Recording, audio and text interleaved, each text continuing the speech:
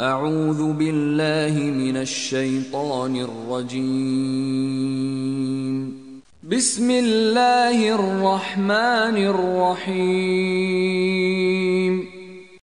Güneşin yükselip en parlak halini aldığı kuşluk vakti hakkı için, sükûnete erdiği dem gece hakkı için ki, ey Resulüm, Rabbin seni terk etmedi, Sana darılmadı da.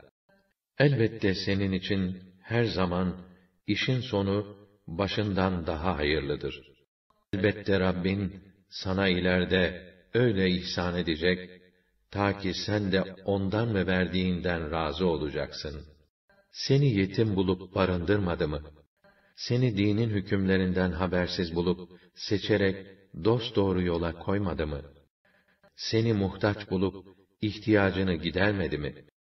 Öyleyse, sakın yetimi güçsüz bulup, hakkını yeme.